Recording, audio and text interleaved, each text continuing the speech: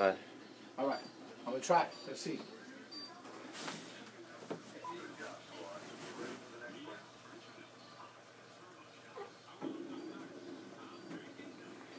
That's it. For all you haters.